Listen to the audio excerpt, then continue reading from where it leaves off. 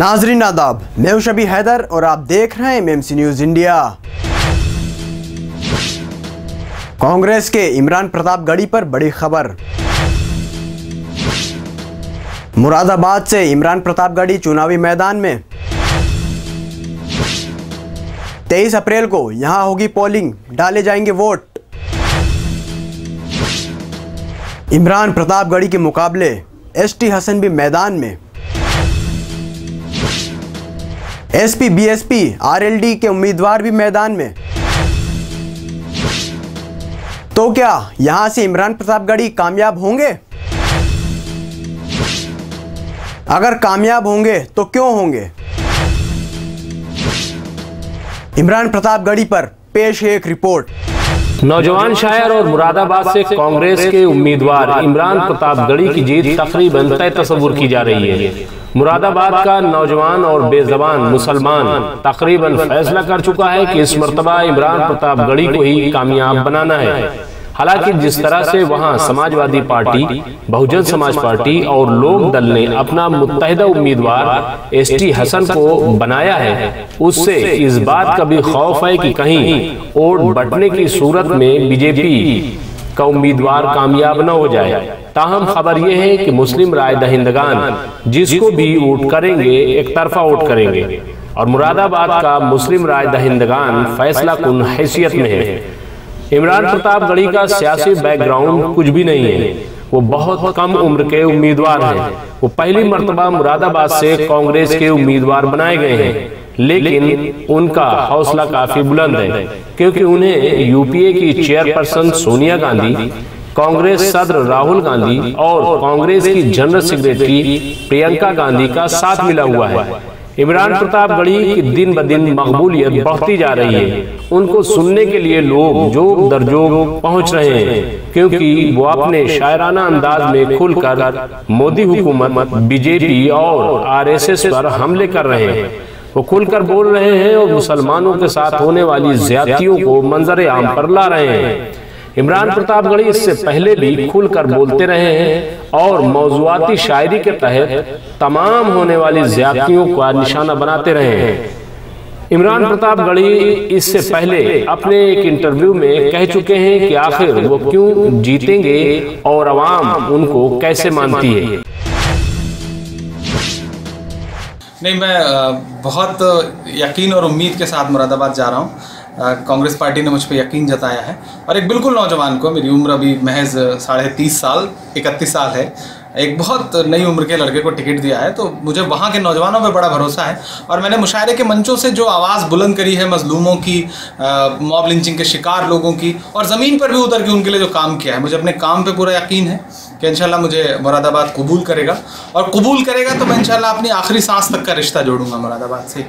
उस सीट पर बहुत लोग उम्मीदवार थे मुस्लिम चुनाव क्या ऐसा था आपको? क्या लगा कि कांग्रेस ने आप ही को उम्मीदवार बनाया? मुझे लगता है कि मेरे चाहने वालों का प्यार है। मेरे पीछे जो मेरे चाहने वाले खड़े हैं पूरे देश में आ, उनकी दुआओं के सदक़े में राष्ट्रीय अध्यक्ष हमारे राहुल जी ने हम पे यकीन जताया है। और मैं कोशिश करूँगा कि तेईस मई को रिज़ल्ट आए तो वो इस देश के प्रधानमंत्री हों और मैं मुरादाबाद का सांसद। अच्छा वहाँ से राज बब्बर को उम्मीदवार बना दिया गया था। उसकी मुखालफत भी मुस्लिम लीडरान ने की। तो लेकिन सुनने में ये आया कि आप ये चाहते थे राज बब्बर से। आपने कहा कि नहीं, आप लड़िए और हम आपका साथ देंगे। फिर ये तब्दीली कैसे हो गई? शुरू में मेरा मन नहीं था। मैंने सोचा, ठीक है, जो फैसला है, बेहतर है, मैं पूरे देश में प्रचार करूँगा। लेकिन बाद में उनका मन हुआ फतेहपुर सीकरी लड़ने का। और फिर मुझे पार्टी ने कहा, प्रियंका जी ने कहा कि आप मुरादाबाद लड़िए हो फतेहपुर सीकरी लड़ेंगे। तो किसी का टिकट कटने या शिफ्ट होने जैसा कुछ नहीं, एक अदला बदली जैसा है कि दोनों की ख्वाहिशों का एहतराम किया गया। मैंने एक रिपोर्ट लिखी थी कि आमतौर से मुरादाबाद के लोगों की शिकायत ये है कि जो स्टार होते हैं ख़ास तौर से, वो आते हैं और जीत कर चले जाते हैं, फिर पाँच साल नहीं आते। अज़हरुद्दीन एक बड़ी मिसाल वहाँ पर रहें। क्या उम्मीद करें आप वहाँ कितना वक्त देंगे? इंशाल्लाह देखिए, दो बातें अलग अलग कह दूँ। जो स्टार्स आते हैं फिल्मी दुनिया के आए या फिर क्रिकेट के दुनिया के आए अब वो ज़मीन पर कितना रहते हैं ये आप जानते हैं, उनकी ज़िंदगी बहुत डिफरेंट है।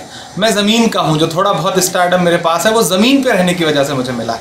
मैंने पिछले दस साल में इस मुल्क का कोई भी ऐसा हादसा या कोई भी ऐसे मुसलमानों के साथ ज़्यादती नहीं रही होगी, जिस पर मैंने आवाज़ नहीं उठाई, जिस पे जिस पे मैंने नज़में नहीं पढ़ी, इस देश के अमन पसंद लोगों के लिए, इस देश में सेकुलरिज्म की लड़ाई जो लड़ी जा सकती है, नजीब से लेकर रोहित वेमुला से लेकर के पहलू खान से लेकर के सारे मुद्दों पर मैं लगातार लड़ता रहा। इवन कि मैंने अपना खून तक दिया है जंतर मंतर पर मॉब लिंचिंग के खिलाफ प्रोटेस्ट करते हुए। तो मैं ज़मीन का स्टार हूँ। और मैं ये वादा कर रहा हूँ कि अगर मुझे अपनाता है मुरादाबाद तो मैं मुरादाबाद का होकर रह जाऊँगा। जिस तरह जिगर मुरादाबादी पैदा मुरादाबाद में हुए, लेकिन दफन जो है वो बलरामपुर में हुए। तो क्या पता इमरान प्रतापगढ़ी प्रतापगढ़ में पैदा होकर के दफन मुरादाबाद में हो। ऐसा कुछ रिश्ता जुड़े। एक सवाल और बहुत इंपॉर्टेंट और आखिरी सवाल मेरा, कि आमतौर से कहा जाता है कि जब आदमी फ्री होता है, यानी किसी पार्टी से नहीं जुड़ा होता तो बयान देता है। लेकिन जब पार्टी में शामिल हो जाता है तो बड़ी बंदिशें होती हैं। ख़ास अगर फिर वो मेंबर पार्लियामेंट हो जाता है, तब और बंदिशें होती हैं। इमरान प्रतापगढ़ी पार्लियामेंट गए तो क्या करेंगे? इमरान प्रतापगढ़ी ने हमेशा जो बातें कही हैं, वो संविधान के दायरे में रह के कही हैं। जमहूरियत को मज़बूत करने के लिए कही हैं। और सलीके से कहीं, अपनी शायरी के ज़रिए भी और कभी इधर उधर की बयानबाजी नहीं करी। तो मुझे नहीं लगता कि पार्टी में आने के बाद या पार्लियामेंट में पहुँचने के बाद मुझे अपनी भाषा बदलने की ज़रूरत पड़ेगी, मुझे अपनी ज़बान को कंट्रोल करने की ज़रूरत पड़ेगी, क्योंकि मैं पहले से ही बहुत मर्यादित तरीके से अपनी बात रखता हूँ महजब तरीके से अपनी बात रखता हूँ और वो रखता रहूँगा। मजलूमों की आवाज़ उठाना, मजलूमों के लिए लड़ना, मुझे लगता है कहीं से गलत नहीं है और वो वो काम मैं चाहे जहाँ रहूँगा, करता रहूँ इमरान प्रतापगढ़ी को कामयाब बनाने के लिए उत्तर प्रदेश कांग्रेस के सदर राज बब्बर और पूरी कांग्रेस इस वक्त मैदान में आ गई है। मुरादाबाद में 23 अप्रैल को तीसरे मरहले में पोलिंग होनी है। चुनाच इमरान प्रतापगढ़ी दिन रात मेहनत कर रहे हैं और अपने मुखालफी को बराबर की टक्कर दे रहे हैं। हालाँकि अब भी कुछ लोगों को लगता है कि शायद इमरान कुछ कमज़ोर पड़ जाएँ, लेकिन वहाँ से जमीनी रिपोर्ट जो आ रही है उससे नहीं लगता कि इमरान को शिकस्त होगी। बल्कि इमरान एक फाते के तौर पर उभर कर सामने आएँगे। ऐसी सच्ची रिपोर्ट भी आ रही है। खैर जो भी है इसकी सच्चाई का पता तेईस मई को ही होगा कि जब इंतबात के नतज का ऐलान किया जाएगा। तब तक हम सबको इंतज़ार करना चाहिए और अपने फ़रज़ को अंजाम देते हुए कम अज़ कम सबको वोट करने जाना चाहिए। ख्वाह वो किसी को वोट करें। डॉक्टर नाथरा खातून रिपोर्ट एमएमसी न्यूज़ इंडिया नई दिल्ली। नाजरीन, हम फिर हाजिर होंगे कुछ बड़ी खबरों के साथ। देखते रहिए एमएमसी न्यूज़ इंडिया नई दिल्ली। और हमारे चैनल को ज़्यादा से ज़्यादा सब्सक्राइब एंड शेयर करें। शुक्रिया, खुदा हाफिज़।